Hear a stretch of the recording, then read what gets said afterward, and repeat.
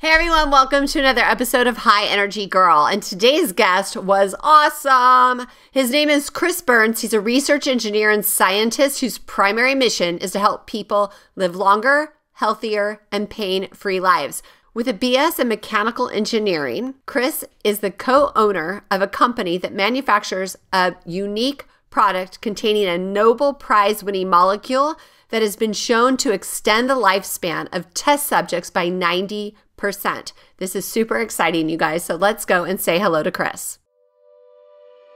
Hey everyone, welcome to High Energy Girl, a podcast helping women to age stronger because it is never too late to get fit, be strong, and feel sexy.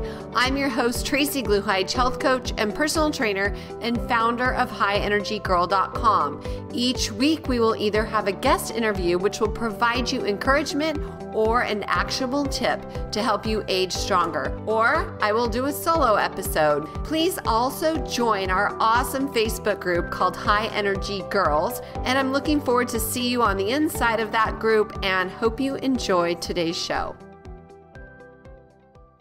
Give a woman a fish, feed her for a day. Teach a woman to fish, feed her for a lifetime. Teach a woman to teach a woman to fish, end world hunger. Have you ever wanted to help people improve their health journey? Have you thought about coaching people with a keto lifestyle? Would you like to become an integrative health coach? Well, the Institute for Integrative Nutrition, or IIN as we call it, is the largest nutrition school in the country. And in 2011, I graduated from their program and became a health coach.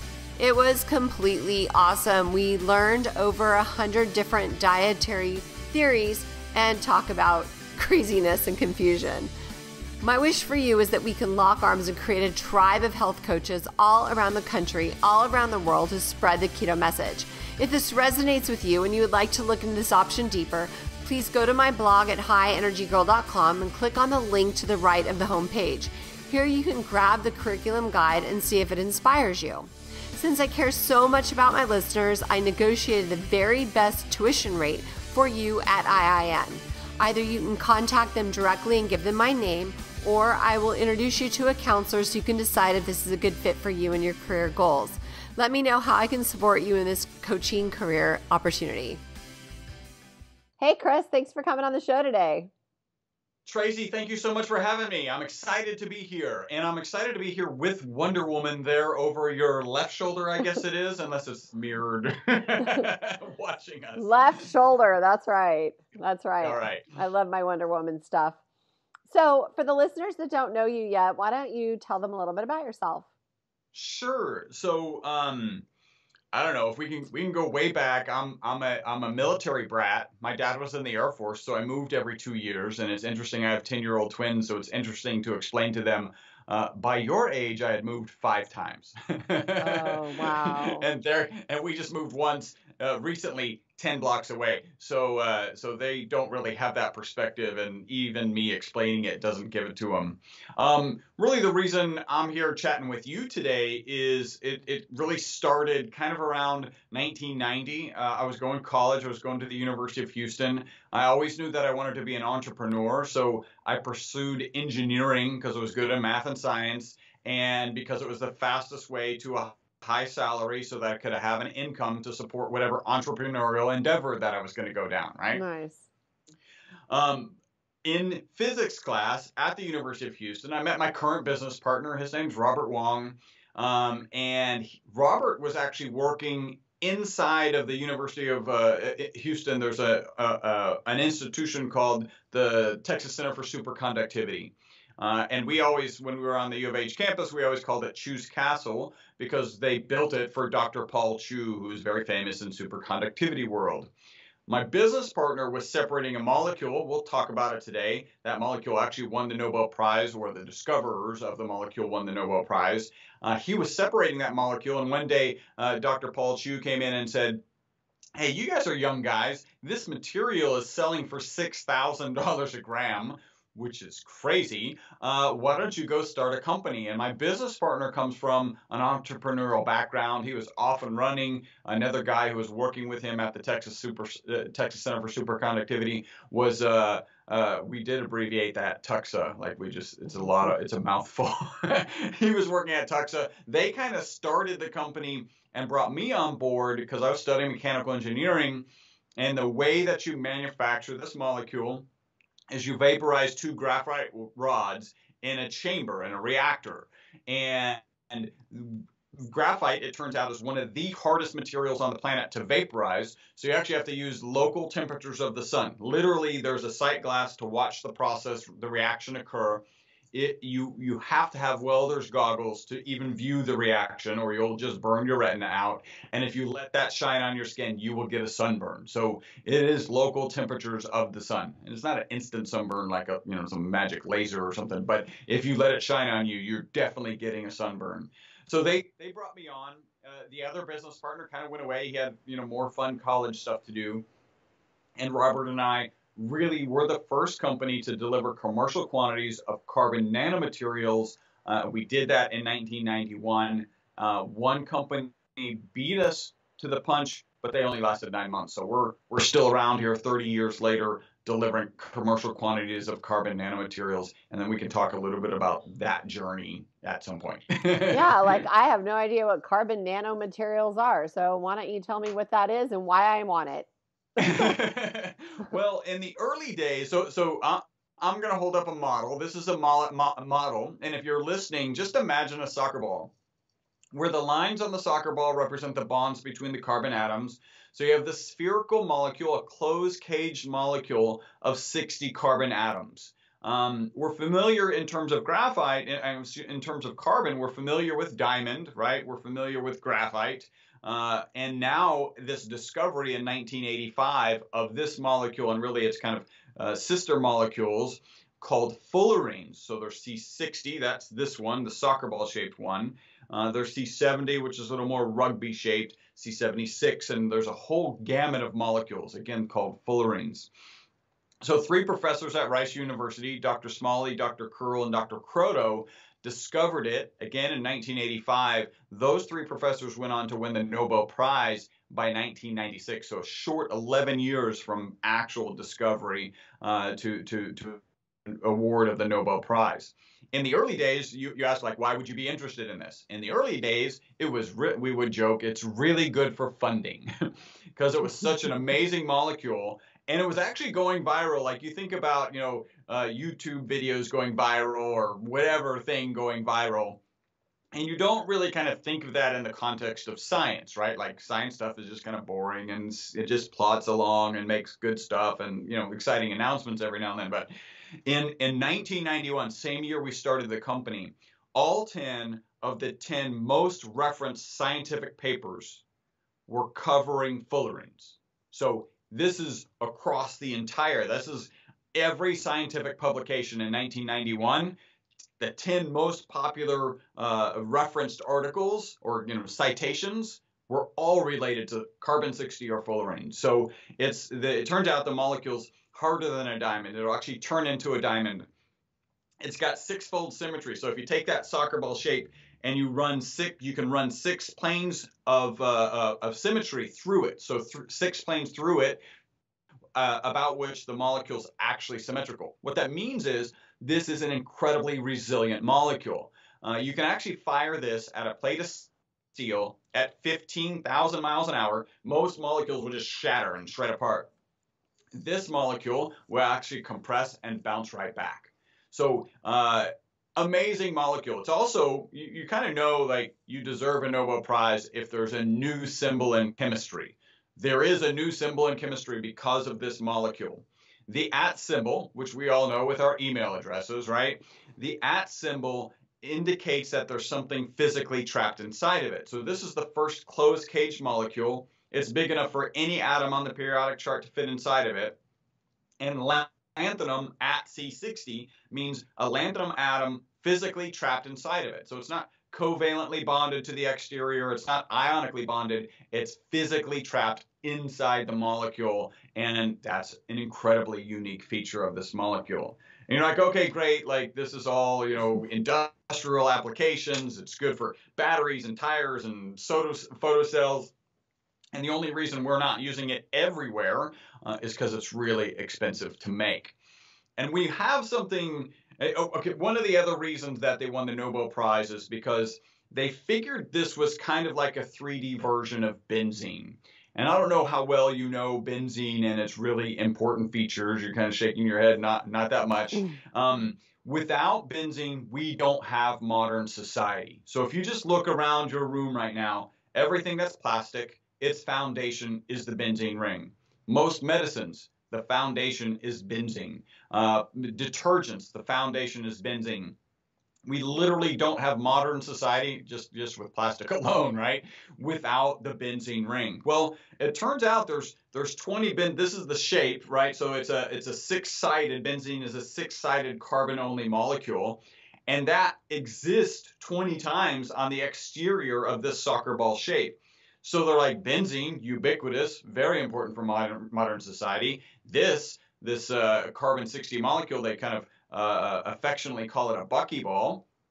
This buckyball has 20 of those kind of benzene rings. Now it's bonded, and so there's some differences, but the chemistry that works on benzene tends to work on this. So that's, again, part of the reason they won the Nobel Prize.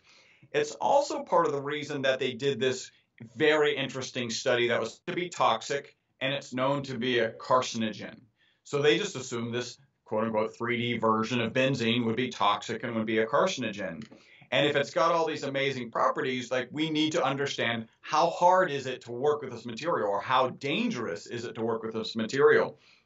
They assumed it would be toxic. They did a toxicity study out of the University of Paris. And in 2012, they published a study that sent me down a path that I was actually never really interested in being going down. And, and what they did in that study is they gave rats water, they gave rats olive oil, and then they gave rats olive oil with really, I like to make a demarcation now. So as they discovered it, it's 60 carbon atoms. It's called carbon 60, C60. But it's very clear that C60 is for industrial applications, and there's peer-reviewed published research that proves C60 when improperly processed is harmful. ESS 60 is C60 that's been processed for safer human consumption. So in that study, they gave rats water, rats olive oil, and then rats olive oil with ESS60. Again, it was a toxicity study. Those rats that they gave really the MyVital-C formula, instead of being toxic, those rats that were given the MyVital-C formula lived 90% longer than the control group. Ooh. Yeah. Wow. So the next best research way to live longer, and there's really good data on this, is uh, called calorie restriction. If you reduce your calories by 30%, it's very well documented that you can extend your life by 30%. I call this the starve yourself one third to death diet. Um, and not many people seem to be signing up for that particular diet. But but it is very clear, like they've done it in rats and mice and other animal models, and and so it's very well documented that reduce your calorie consumption. By the way, it's not 30% from the typical American diet. It's 30% from what your BMI index says you're supposed to be consuming on a daily basis, right? Cut that by 30%, you can live 30% longer. That's only 30%. Like the result in this particular study was a 90% extension of life. Not only did those rats live 90% longer, in that study they used Wistar rats. And a typical Wistar rat will live 32 months and they'll die with a known amount of tumors. The longer they live, the more tumor mass they have in their body. That's just how Wistar rats are. Despite the fact that the MyVital-C rats live 90% longer, out to 62 months, none of them had any tumors. Mm. Right? That's a that's a phenomenal result. Now, a lot of people I've had conversations and a lot of people like, "Oh, cancer cure." No. No, that's not what that study implies, and it's very important to make that clear. There's a huge difference between dealing with a cancer that has metastasized and actually with being a cancer preventative. We know things as simple as a good as good nutrition, a good diet, uh, as exercise, as uh, good sleep are good cancer preventatives. That particular aspect of the study just kind of indicates that hey, this is probably a good cancer preventative. Hmm, cool. So why am I just hearing about this? Um, so this the the the, the self um, it's my fault. I'm I'm now actually getting, involved and, and expanding knowledge about this. So the community is reasonably large. I would say, you know, because CBD is so insanely large, I would say that the community of people are aware of C60 and really ESS 60, if you want to put it safely in your body, is maybe one thousandth of CBD, but that's still still pretty big and it's growing and it's actually growing organically. There isn't, you know, big, you know, CBD has another kind of you know momentum behind it and it's uh, you know related to marijuana and people's interest in marijuana in general right we don't have an association with something like as hip as marijuana so so it's it's harder to get out there the other thing that i think is a challenge well i know is a challenge is is the research that we hang their hat on is actually I think significantly better than CBD, but also still not that that good in terms of marketing, right? So if I come to you and I'm like, hey, uh, there's this study, and the test subjects in this study lived 90% longer. Tracy, what's your immediate response to like knowing about that study? Um, would they take? I want some. Okay, because you're adventurous and you're interested in longer, and you've done something, in my opinion, that that a lot of people haven't. Because I tell that story to a lot of people, and frankly, most say, "Why would I want to live longer?" Like the mentality is, "Why would I want to live longer?" And then if I reframe the, I like the puzzled look on your face because that's how I feel. But now you'll now you'll understand when I reframe the question and I say, if you have the same mental capacity that you have today, and you have the same physical capacity that you have today, not everyone will change their mind. Apparently, some people need to just reevaluate what they're doing with their lives. But most people will change their mind and go, okay, well, yeah, in that case, because we we don't have the ability to, to, the question that I'm really asking most people, even though I'm saying would you like to live longer, is what they're hearing is how much longer would you like to live infirmed?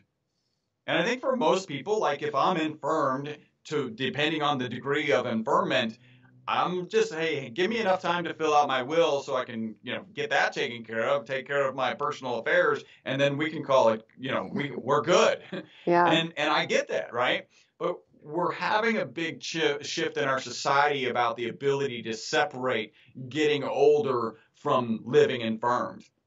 And it's things as cool as like the most recent Super Bowl. The oldest quarterback to play in a Super Bowl just happened, and he was 44, right? Like I know my dad actually played semi-professional football. 44 was not on his radar as a football player. Like it was probably 35 right? So almost 10 years shorter than what we're seeing now. And that motivates people to have a different mentality about getting older. And, you know, I remember reading this one article in Men's Health very long time ago, just the title of the article, and I was so angry. And the title was, Your Metabolism Slows Down as You Get Older.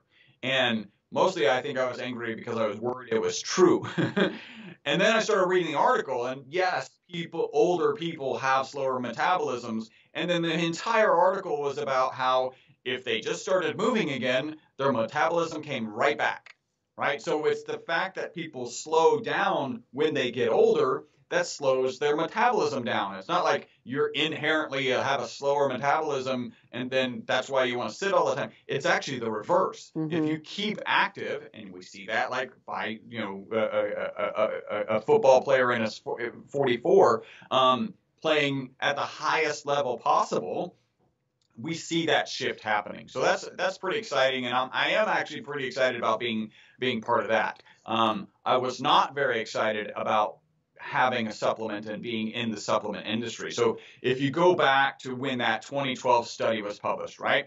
These rats live 90% longer. Brave people like you, I affectionately call you and I and everyone who's interested wackos, right? Because we, because I am one, because because those rats, right? They gave rats. That was published in 2012. By 2000, mid 2013, we started getting phone calls of people going, "Hey, how much in a dose?"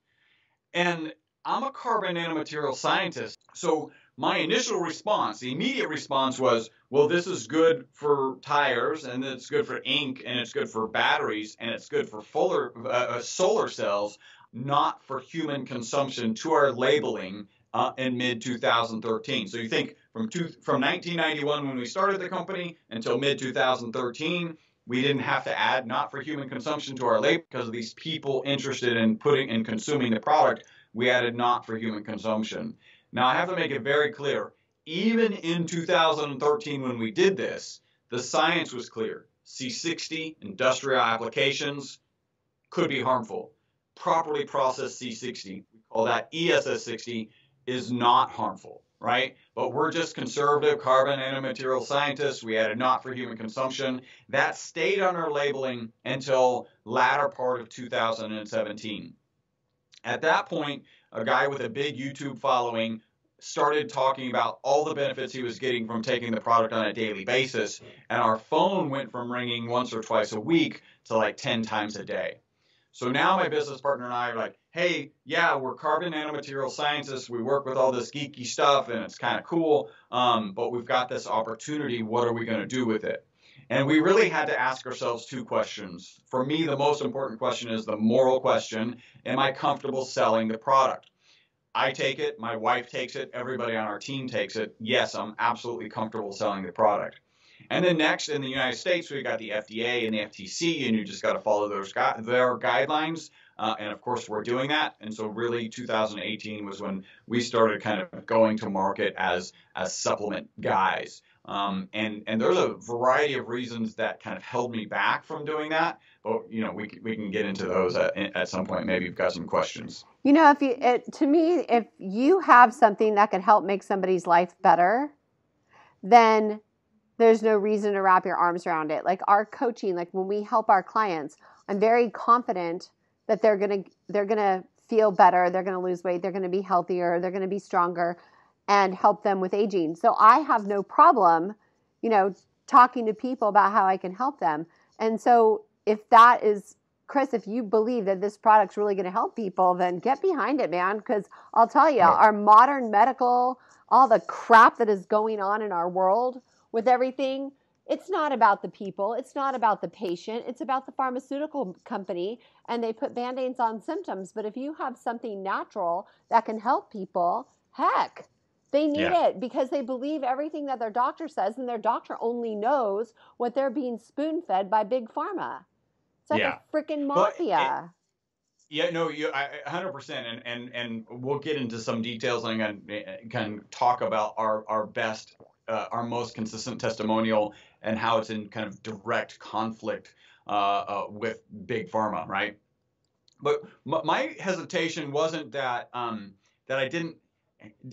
It wasn't that I didn't necessarily believe in the product. I was more concerned just about the supplement industry in general. So as as we were kind of considering this as an opportunity, I ended up reading a paper, and it was a peer-reviewed published paper that said 50% of the of the supplements they tested did not have in them what they said they had mm. in them. Mm-hmm.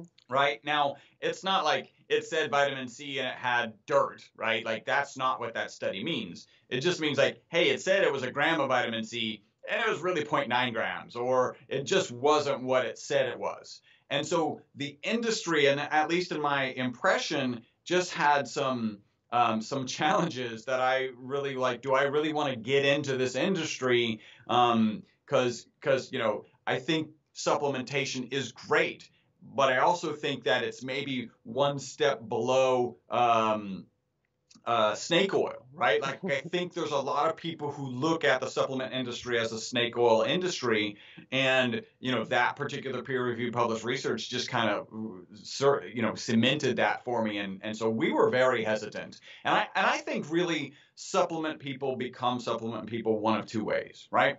One of them is they decide they want to be wealthy and they decide they're going to do it with supplements. Uh, and and I'm no, I have no problem with people being wealthy. I just that's not how I ended up here. The other is people have their kind of own physical challenges or maybe physical challenges of a loved one, and they solve it with supplementation, and now they want to save the world. Hopefully, it doesn't surprise you. I am not against people saving the world. It's just not how I ended up like in this position. Right, I get I've that. I've been making this, huh? It's just that I get that. Yeah, I've been making this molecule since 1991, selling it to research institutions. They do a, a bloody toxicity study, right? it was supposed to be toxic. The rats live 90% longer, and now I'm kind of thrust into an industry that, you know, has some challenges, reputation challenges, and I'm just trying to do a good job to kind of shepherd this into that environment. Good. I think that's great. So, talk to me about if I started taking this product, what would I notice after 30 days? All right, so I'm going to talk a little bit about testimonials. So I of course have to do a te- do a disclaimer. The FDA has not evaluated our product. It is not intended to treat, diagnose, cure, or prevent any disease. Just to share with you, I will share my perspectives on my actual benefits, the things that I've noticed. I'm significantly, I'm a scientist, so if I, when I can talk about a, a, a, a uh, zeros and ones, like it used to happen, now it doesn't happen, that's interesting. I tend not to talk about like I feel better because that's not really good data.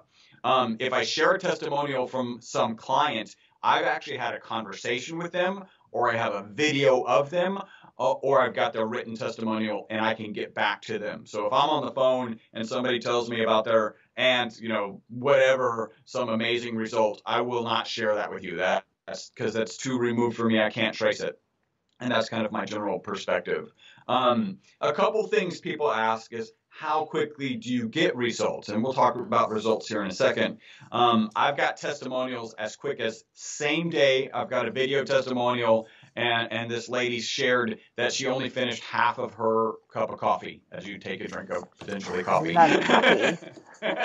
no, coffee's delicious. I love it. I actually, I was always like, why would you ever drink decaf? And now that I have my product, I like the flavor. I actually like the flavor, but I don't need the energy, and I don't need like the some the jitters that can come with it. So I actually do have decaf now, and I have cups of coffee decaf every now and then when, I, when I'm craving it. That's decaf. I like the bulletproof decaf because it's clean decaf. Yeah, yeah. Well, and we'll talk about bulletproof the bulletproof coffee uh, recipe because it includes MCT. We have an MCT product that includes this actual ESS60 molecule. So that's actually my routine. Let me share you since we're on that subject. I have bulletproof coffee in the morning, but it's with my MCT product with my molecule in it. Um, and it's not mine. It was discovered by the guys who won the Nobel Prize, but the molecule I manufacture in it. And then while that's actually blending, I'll take a teaspoon and a half of our olive oil product olive oil is the go-to, and the reason it's the go-to is that's what the original research was in. Uh, so the research, the, the, that toxicity study that was published out of the University of Paris uh, was on olive oil, and we tend to go back to the science anytime we can. Um, and then for for if I have a salad, and I often do, I'll put our avocado. We have an avocado version. It's also we also recommend the olive oil product because it has the highest concentration of ESS60 right? So you can get about 0.8 milligrams per milliliter in olive oil, 0.6 approximately in avocado oil, and then 0.3 to 0.35 in MCT. It's just the nature of the oils. You can't dissolve more of that molecule inside of those oils. Mm. Uh, so again, if you're just going to go for bang for the buck uh, and the scientific research that's behind it, you go with the olive oil product. So, um, so she only that was one example. Same day, drank half of her coffee, and you can appreciate like if you came at the end of the day and you're like you noticed you only drank half a cup of coffee, that's kind of a big deal, right? Like if you're noticing it. Um, I've got one of my kind of more interesting longer term testimonials is actually our largest distributor in Houston. We're based in Houston. Um, she originally ordered the product for her dog she didn't really have an interest in taking it. She ordered the product for her dog, but she noticed such a difference in her dog that she decided that she was going to start taking it. Now, it's important to note that the dog is not uh, subject to the placebo effect, right? The dog doesn't go, oh, I'm taking this expensive supplement and therefore I'm going to act younger and have healthier fur today. Like that's that's not how pets work. Um, it's just not how they work. That's funny. Uh, and then, so Gwen, and I did a video with her, and in the video, she's sharing three months into using the product, I would have told you I didn't notice anything. But then I kind of slowed down and I took, you know, took stock of my life, and I realized I, I was actually working a little bit later, or at least I wasn't tired, so I could work a little bit later. I was waking up earlier, and I've never been a morning person. Then I always joke this is the worst testimonial for a supplement ever. Uh, I actually cleaned my garage. it's not going to be on any of our labeling, but it means something, right? Because you know that's that task that's around your house that you haven't gotten done, and it could be like your own maybe emotional hang up about I don't want to go through the headache of like whatever that's going to do. It could just be you're tired and you don't have the time to do it because you're so tired. Either way, worst testimonial ever, but she did clean her garage. So those are those are that's that kind of time frame. It can be more subtle and can take longer. It can happen immediately. I've got I've got um, Im, Im, impressive testimonials as it relates to uh, um, athletic performance next day after first serving. So so it that can run the gamut. Let me talk about my particular uh, uh, experience. Um, I played soccer for 25 years. I had a left knee pain since I stopped playing soccer. And in 2018, when I started taking it on a regular basis, that pain went away, hasn't come back. I am that geeky person who keeps track of migraines. I used to get four to five migraines per year, per year Wait till I talk about my wife. Four to five migraines per year, and I would track them. I was trying to figure out, you know, maybe I drank too much the night before. Is something that I ate? Did I over exercise? I was trying to figure out what caused them, so because they're they suck, and I wanted to get rid of them. Um, in 2018, again, when I started taking the product on a regular basis, no migraines. 2018. I've had a couple here and there, uh, but it's not four or five a year couple that with my wife, my I always remember the number nine because she had a prescription for nine migraines a month. Anything over nine, and she got them. Anything over nine, she just had to muscle through. Since it took me a while to get her to try the product, uh, when I finally got her to try the product, she's down to one every other month or one a month. So a significant difference. And and I do think you know we talked and I understand kind of your audience that the migraines were related to early onset menopause and that the product helped with that. So those are some of the things. Our most consistent, uh, uh, although we've said that, our most consistent testimonial is that people take it in the morning, they report mental focus and energy during the day, and then better sleep that night. By the way, I'm not aware of anything, certainly no supplement, but I'm not aware of many things that you do in the morning to positively impact sleep as an certainly exercise, right? If you wake up and exercise in the morning, you'll sleep better that night. Also, exposure to sunlight because you can get when you get your circadian rhythm mm-hmm. in tune with the rising and falling of the sun, that can help you sleep at night too. It's in direct contrast to that two billion dollar quote unquote sleep aid industry where they prescribe you something that knocks you out. And like let me talk a little bit about the chemistry of these quote unquote sleep aids we have a, a, chemical in our body called adenosine, and it's actually the A in ATP. If you're familiar with kind of mitochondrial processes, the so as as our cells are creating energy, they're releasing adenosine into our bodies. That buildup of adenosine causes us to desire sleep, right? So we go to sleep, that chemical pressure is released, and then we wake up without that desire to sleep. Well, those sleep aids will do that They'll knock you unconscious because they're depressants, and you wake up and they relieve the chemical pressure of adenosine, and you wake up uh, without the desire for sleep, which is very nice, right? You just don't feel groggy. The problem is, it's well documented that you don't get your REM sleep and you don't get your NREM sleep. Those are two types of sleep that happen when you're on these sleep aids. I wish I had gotten my father off of sleep aids a whole lot sooner. I wish I had really I got that information from a book called Why We Sleep by Dr. Matthew Walker. I highly recommend this book. I also call it the Freddy Krueger of sleep books because it will scare you. It'll Ooh. scare you really it'll scare you to sleep because uh. that book outlines all the negative things that happen he's done 25 plus years of research in in, in sleep centers right? So he knows that he shares the experimental results on how detrimental it is for your ability to remember things. He shares how negative it is for your cardiovascular health. We actually do a sleep uh, study across most of the globe twice a year. It's called daylight savings time. Mm. When you add an hour of sleep, heart attacks go down by 20 plus percent. When you take away that hour of sleep, heart attacks go up by 20 plus percent. So sleep impacts, like demonstrably impacts your cardiovascular health. If you go two days without sleep and do a blood glucose test, you will show up as a diabetic, even though it's only the fact that you've lacked two days of sleep right? And not to mention, like when you're lacking sleep, it actually does you have a, a desire for higher calorie consumption, um, for for sweets. So there's a lot of negative impacts. We know that sleep impacts your physical, emotional, uh, and mental health. Uh, no, physical, emotional, and um, why, how am I missing one?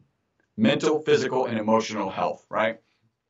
So a lot of the testimonials that I get from different customers could be explained as easily as, "Hey, you're getting better sleep, so that's what's impacting you." And in fact, there's there's one testimonial that I like. Um, it's, it's a little bit of a longer story, but it's interesting. So I was here at the office on a Sunday. We're not a retail establishment, but we do allow people to come and do will call. This was pretty early on and and I saw this guy come and knock on the door, and so I went to open the door, and it felt very clandestine. It was like, "Do you have any ESS 60?" And I'm like, "Yes, I have ESS 60. Come in." and then he gave me his credit card to purchase a couple of bottles. I even had to figure out like we don't have a terminal, right? So I had to like punch it into the website, get all of his information. Anyway, so I remember him. And there was a, a, a number of months later, I was walking by the, the lobby and I noticed him and Cassandra, who was helping him, shared that this was his third order, and he was actually ordering three bottles at the time. And in my mind, I'm like, hey, this guy probably has some really good reasons to be taking our product. I mean, longevity is potentially good enough, but a lot of people, you know, we need more, more instant gratification than, you know, what's going to happen 40 years from now. And so I asked him, I was like, hey, wh- you know, what are the benefits you're seeing? And his, in his first response, and he said he kind of was, was, was like disappointed to share with me, I haven't really noticed anything. And I'm like, oh, well, that's interesting. like a lot of people wouldn't continue taking it. Um, and he goes, well, so I, I have a question, and and and I, I've got to be real careful because the FDA here goes like, I have this pain in my knuckles, um, so you might know what that represents. Does it help with that? So, well, we do have some testimonials that say it helps. And he goes, oh, well, then it's helped that because that, that pain's gone. And I used to have this like click, click, click in my knee, and that's gone. And I hadn't gone jogging for about two years, and I'm about to go on my 10th jog. So I started jogging again. And in my head, I'm going, well, it's a shame you aren't experiencing anything on our product. yeah, that's awesome. I need it because I have some shoulder issues. I um, have shoulder pain and I have yeah. tried everything, everything acupuncture, chiropractic, CBD, um, stretching, mobility work, foam rolling. It just won't go away. Well, I'll be happy to get you some bottles and try, and you you can try it. Do, oh. do you have any pets? I have a dog. I have two dogs. A dog. Well, I'll, we'll get you some dog version too, because we have really solid testimonials with it as it relates to dogs oh, and cats. Actually, awesome. They're old. They're like ten and 11, two labs, and they, um, I mean, they're good dogs, but you can definitely see how they've slowed with age. You know. Yep. It sucks. They're on so many freaking medications.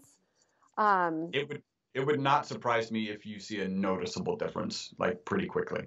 Gosh, like I would. That's, that would be huge because they literally take this vitamin powder, this little chewy thing that's got like all this good stuff, and then this other one. And I'm just like, I'm a supplement person. I'm not a medication person. So my dream would be to get them off of all their meds because I know they have toxic side effects, but I haven't found anything to replace it. And as soon as I like take a break and let it run out, all of a sudden like they're having a hard time getting up and you know all they're that more crap. achy. Yeah. Mm-hmm yeah, you can notice it. Um, so we do have some good testimonials. I got a video. Uh, she she actually um, uh, fosters dogs, and so one of the dogs that she was fostering had a pretty a noticeable limp. Uh, and she ended up she took a video before and then after and the limp was just uh, demonstrably better. Like you could see the difference in the video. So you have pet versions and you have human versions yeah? Yes. Yes That's a really good By, market. by the way, I will share with you that the human version is also a rat version because that's what they used in the original study. oh, for my pet rat that I don't have. we well, have. so interesting. This is interesting. So in mid 2013, we added not for human consumption, right? And I told you we got about one or two calls a week, and some of those calls I would feel field, and they'd be saying crazy things like, "My hair is growing back, but it's growing back the original color," which actually hair and nail growth is associated with just better health, right? Hair and nails are about aesthetics. Most well, nails maybe to a lesser degree um, if you go if you go back a long time, but hair is about aesthetics.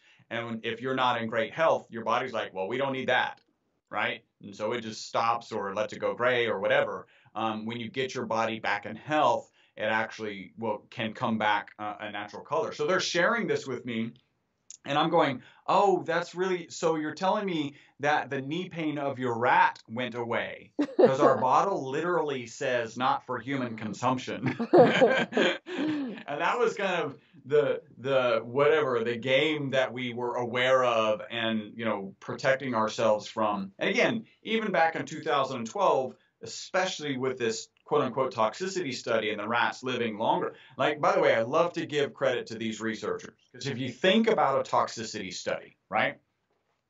First off, you don't give a little bit to the rats and see if they get, you know, oh, they're feeling unwell. So, yes, it is toxic. You give a lot and you're kind of hoping they die quickly so you can publish the results. Like, that's mm-hmm. just the nature of a toxicity study.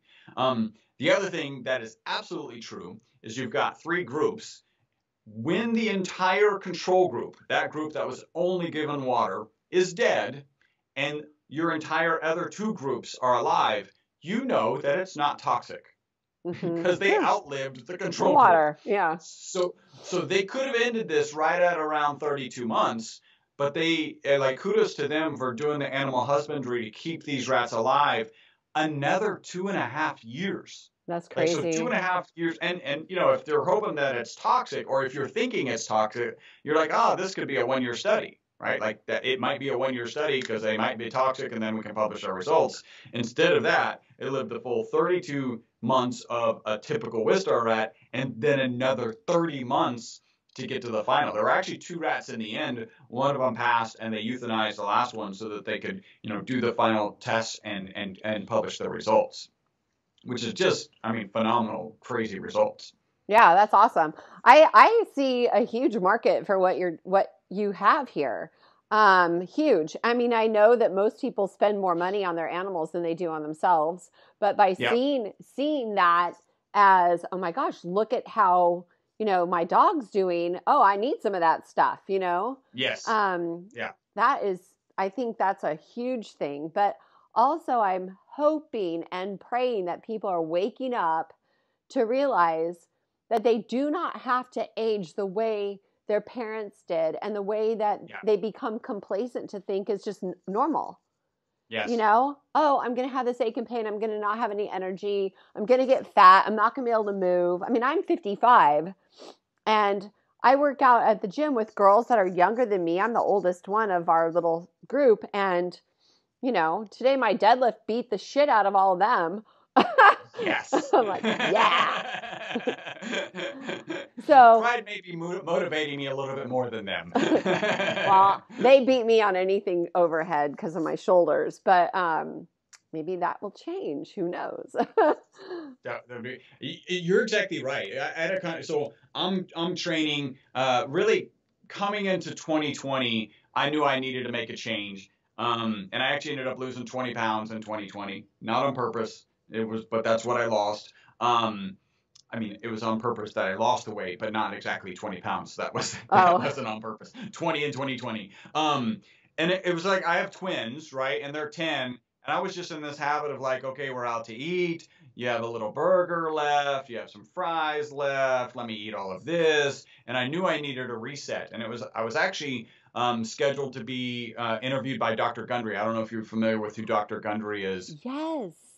Yeah, he's a super cool guy. Great interview. Uh, like it, it, was awesome. So in preparation for the interview, I actually uh, we took a family trip. I think that trip was to Disney when we drove. and we listened to two of his books on the way. So my kids who are now 10 could talk to you about lectins and lectin-free diets and like nightshades and all this stuff, which is kind of cool. Um, so coming into 2020, I got we, my wife and I got you know really kind of implemented his diet and it was just the reset I needed. I'll be honest, I probably could have just done probably anything. I just needed a mental like reset, stop eating the burger and fries that's left over everywhere, right? Um, and I'm and I'm now physically training. So my wife and I uh, jog. Really, we're at five days a week. So we jog three days a week and we work out two days a week. And I was kind of sharing this with my mom, and she was like, "Well, why are you doing that?" and I'm like, well, one, I've never like I've always I played semi-professional soccer, but I never actually had a six pack, and I think it would be really cool to have a six pack, and um, and it's just good in general. And she was like, yeah, I remember my last hurrah when I was teaching aerobics in her 40s, and then like, and then it was like, and that's it like the mentality is exactly what you described. Like I had a last hurrah at 40, that was my health, and now the rest is just downhill. That's how it is, and uh, there's nothing. I don't know if they're. It's a generational thing, right? But I don't know if they're not aware that they could make a difference, or it's just not in the wiring. It's just not, you know, there's no awareness about the options. I think. Well, I have mm. clients that their doctors tell them, "Well, this is just the way it's going to be now. This is just the way it is," and but they just don't get it. They don't study nutrition. They don't, yeah. you know, they don't. I mean, think about it. Remember all those? Well, you probably don't remember because you're young, but there used to be commercials that doctors saying that smoking was good. You know. Oh yeah but they just don't know. And so that's yeah. one of my missions is to teach them. I mean, I'm 55 this year. After turning 55, I hit a PR on my deadlift. That so I'm getting stronger instead of weaker, and it is possible. You yes. know, and there's technologies out there like yours that can actually assist you in that process. You yes. know. But, By the way, I'm I'm 51. Oh, you look really young. and I would like to say that it's entirely my product and then like it would fly off the shelves. I've looked young my entire life. Like even when I was, you know, a teenager, they're like, you look like you're six. yeah. Like so, Doogie so Howser. I always have. But yeah, I, and I believe like I'm in better shape now, certainly than I have been in the last 10 years. Yeah, that's cool. That's awesome. Yeah. And I saw your ring. Or Oura ring, yes. Oura ring. So I'm actually doing a sleep study with them and maybe you can actually you can participate in the sleep study. So I'm in contact with a guy, a consultant for Oura Ring named Benjamin, who's also an assistant professor out of the University of California, San Diego. And we were starting last part of 2019. Hey, let's start getting people who have Oura rings because he, with permission of the customer, he can get into the back end of their data and kind of confirm stuff. And the premise was let's get people to collect data for 10 days. And really, it's like survey data. Notice your, I don't know, HRV, notice your deep sleep or whatever. Keep track of some data in a spreadsheet. And we're doing this type of study, but it's this particular study stopped, and I'll tell you why. So for 10 days, collect data, baseline. 10 days on my product, collect data. 10 days off the product, collect data again, and then 10 days back on the product. Well, it turns out, and you may not know this, that the Oura Ring is pretty good at identifying COVID before you know that the symptoms are there. Yes, as long as you've got a baseline, because it does a delta temperature, as long as you've got the baseline, it can notice. In fact, I have friends who ultimately got COVID, and it was like, you might be feeling under the weather. Like, and it'll tell you that.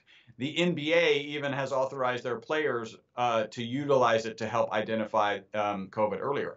So you can imagine my uh, associate Benjamin has been very busy in 2020 and even now into 2021, like PR, talking to press, collecting data, looking at data. So basically, I've spoken in the last year and a half, I've spoken to him like twice and shared like three emails just because he's that busy related to COVID. But we are keeping the test moving forward. And in fact, I did a brainstorming session with another person uh, that I was on their podcast who has a, a group of people who probably have like um, I think it's biosensor is one of them, maybe a Whoop, maybe a, an Oura ring, and so we're going to get more people onto this. So uh, I'm happy to like get you the spreadsheet, send you some product, and you can uh, look, you know, collect the data. Yeah. We've already had five plus people. I need to spend some time looking at the data, go through it, and it is consistent on those five that on the product is better results in terms of you know of the survey. So they're basically every single day they're like, how was your sleep last night? How do you feel? How restless were you? How quickly did you fall asleep? All of those things on almost every category, it's better than when they started consistently. So it's it's really again my picture of supplements is not people who actually fund research, right? Because there's too much risk if you have a supplement. If the data comes out wrong, then you know you've ruined all of your sales. Um, I don't care. I'm a scientist. Uh, I've got, frankly, I also have enough people telling me that the, it's impacting their sleep. I let me tell you mine. Um, so embarrassingly, I must admit that I used to take two naps before noon on Saturdays and Sundays. Wow. Yes. I would wake up, my twins would lay on me or sit on me and watch cartoons, and I would sleep. And then I would get up and have breakfast. So that's the first nap. I would get up and have breakfast, back to the couch, and fall asleep. Since I've been taking the product, that does not happen. Like, so whatever exhaustion I was doing during the week that was kind of driving that and or the product, uh, I'm not taking those naps. Do I take naps? I'm probably at three a month now, maybe. Um, but I'm definitely not two on two before noon on Saturday and Sunday. So that consistent testimonial um, is really what's driving us to do research and, and really have data to support it. And sleep is so important. It's so underrated in our society. Everybody's in busy land and and now with Netflix, they're binge watching shows. They stay up too late. I mean, I'm a big preacher on sleep because that's when your body repairs itself. That's when you can increase your human growth hormone and your stem cell production, which are the fountains of youth. So yep. I'm a big proponent of sleep. Now, do I always yeah. sleep great? No, but I try. I work on it. O- we're the only creatures that will forego sleep for no healthful reason, right? Yeah. All right, and I'm sure dancing, late night dancing, feels like a healthful reason, but it's ultimately not good good for your sleep. Um, it, there's some interesting in that book, Why We Sleep by Matthew Walker. There are some interesting studies that they do and data that he reveals. Like one of them is that teenagers, their circadian rhythm actually shifts to later in their teenage years, right? I don't know exactly why. I have some theories that are interesting, but it shifts. And so we don't shift their schooling to later in the day. Mm-hmm. So we're actually forcing them to operate outside of their circadian rhythm. And there's one city, county, or something in the country that shifted the the teenagers' uh, school schedule by an hour. They had a, like a 14% drop in car accidents. Wow. Right? Because you're throwing novice drivers out there in a sleepy state, and like that causes accidents. Yeah. In fact, I remember I was in, in I, was, I actually did a PR tour with a really good friend of mine, and we were just out sharing sleep, right? Because COVID during this COVID pandemic, being locked down, and everything, it, so many people are struggling with sleep. And he's really a human behavior expert, so he kind of presented strategies to handle the emotions associated with what you're whatever you're going through and then I just brought brought in sleep hygiene pieces, right? So make sure that you know you talked about it. Like electronic devices are they give off blue light, mm-hmm. and I, I don't know if you know this, but blue light convinces you physiologically that it's noon because that's when the sun's blue light is at its strongest. That's why you can be on your computer at 12, 1 o'clock in the morning and go, I'm not even tired. Mm-hmm. Until you walk away from the computer and then you realize, oh, I should have gone to sleep like three hours ago. Um, so, so I went on this PR tour with him, and we were just sharing as much information as we could of like how to go get better sleep, because I really believe we all kind of fundamentally, and we do this hand waving like sleep is absolutely you must get your seven and a half to nine hours of sleep opportunity every night, unless there's something else to do and that's that's that's not healthy. That's just fundamentally not healthy. Yeah it's so true. I agree with you and i find it happening over and over. And i used to be that person you know but not anymore. I don't bring any electronics to my bed other than some meditation in the background um, so yeah. that my subconscious mind has something good to chew on while i'm you know sleeping so or at least the first hour He also has a, a meditation file. I, you might be interested. I'll send you a, kind of a separate link so you can you can check it out. It's it's free. It doesn't even require an email. Cool. Yeah, I love getting around people who have the same beliefs I do because I feel like by locking arms and joining forces with these, you know, believers that like we know what's possible, that will yeah. help change humanity's beliefs because I would say that there's a huge percentage of people in our country, especially, that just don't know. They just don't yeah. realize what's possible. Yeah. Have you read uh, Lifespan by David Sinclair? No. Mm-mm. You you you would really love that because it's not just. I mean, his whole premise and, and really kind of the reason he wrote the book is to try and convince the medical establishment that old age should be should be identified as a disease so that you can put funding into it. Because right now, everything that funding is going into is old age related, right? So it's heart conditions, it's Alzheimer's, it's dementia. These are all known to be associated with old age. But old age is not a disease, and therefore there's no funding about old age age. So his whole premise is like, and, and he spends some really cool philosophical parts of his book talking about, okay, great. What if we do live forever? What are the implications of us living forever and, and the societal implications and how do we deal with that? Um, but he's been studying longevity for 25 plus years. Ooh. And he started in yeast. And so he's breaking it down to like, what is the most primitive? Really, it's very cool because it's like, what is the most primitive aspect of yeast? Which then actually does translate into humans. What is it, and how do you drive it, and how do you pull levers on it, right? And then he's taking that into rats, and then now doing going into human trials. So you've probably heard about NAD, right? Uh-huh. Yeah, I take it. Yeah, well, it's his research. Oh. That even caused interest in in NAD. What's so his you'll, name? You'll, it's David Sinclair, Dr. David Sinclair. And I think he's out of Harvard. Okay. I'll check that out. Yeah. Ooh, cool. Okay. I love to read. I read a lot of books. Um, and with my tribe, we do book club. So, um, that's cool. Yeah.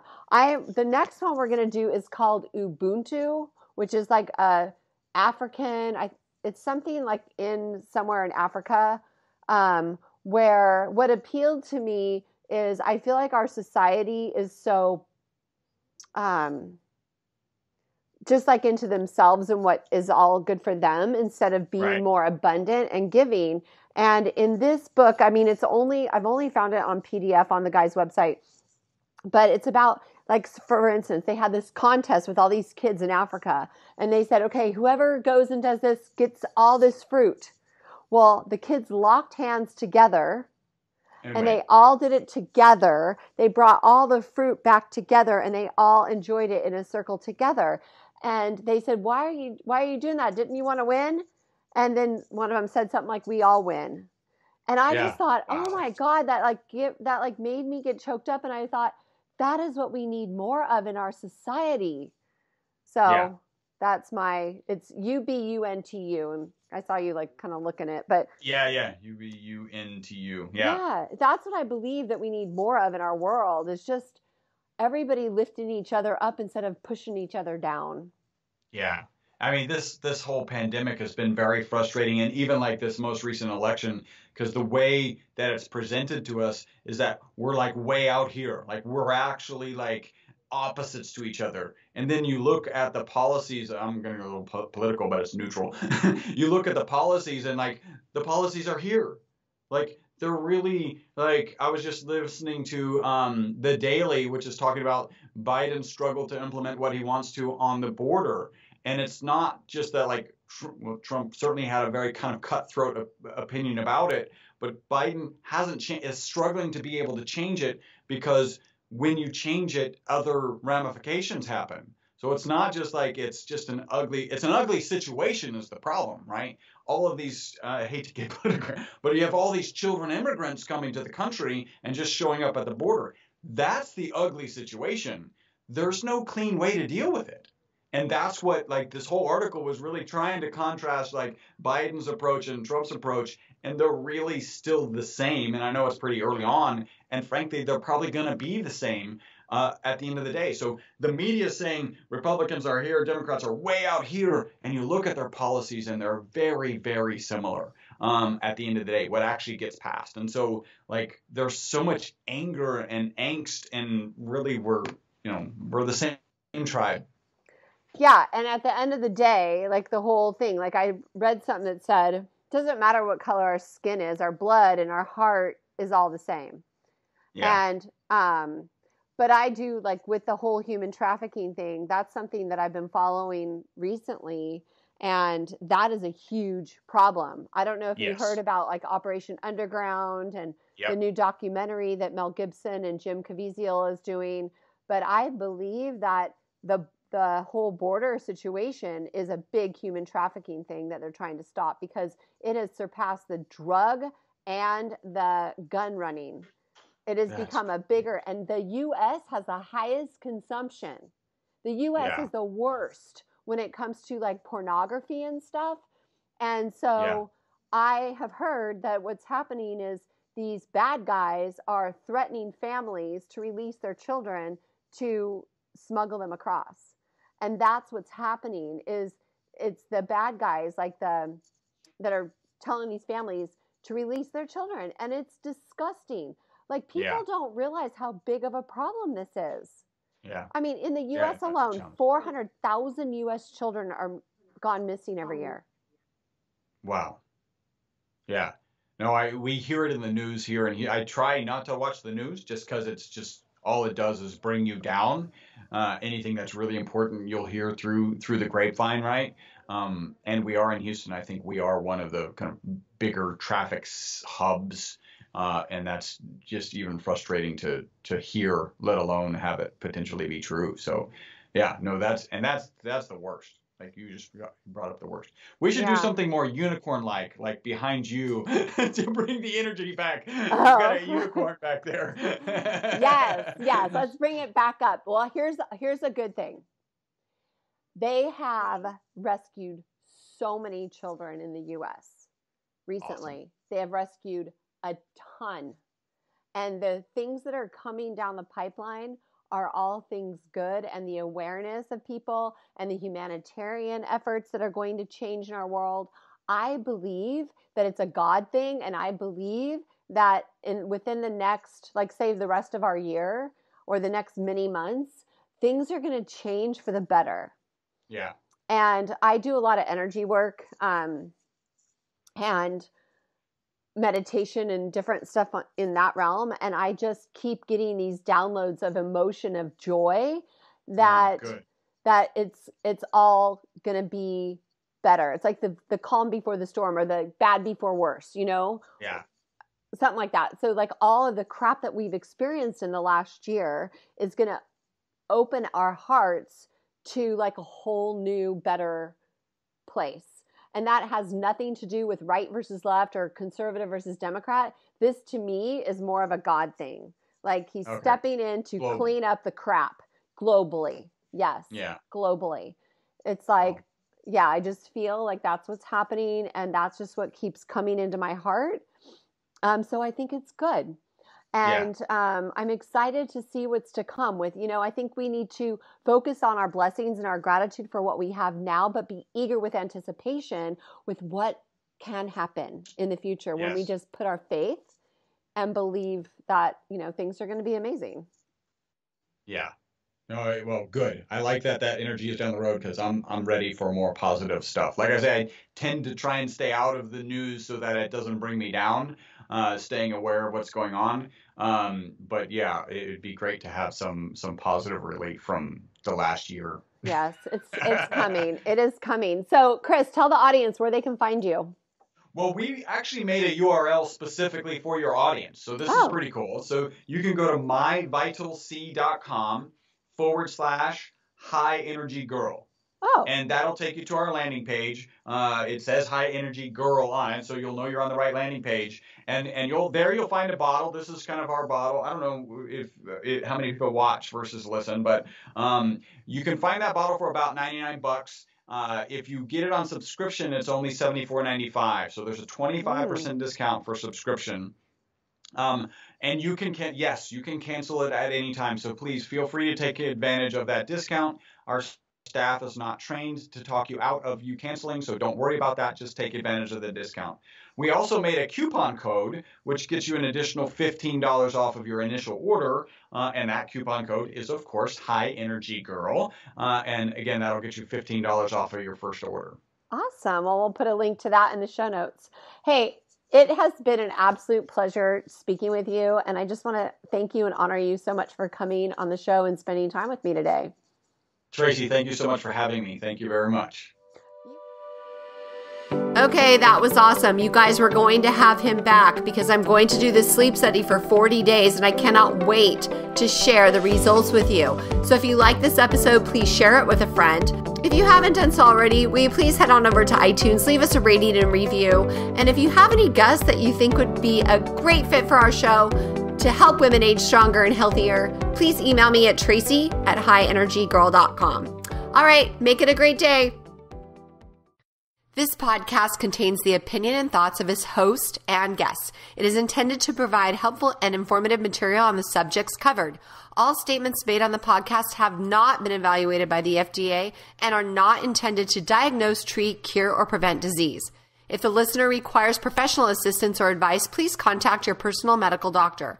Both host and guest specifically disclaim any responsibility for any liability, loss, or risk, personal or otherwise, which is incurred as a consequence directly or indirectly of the use and application of any of the contents of these episodes. Like I said, this is my opinion and I could be wrong.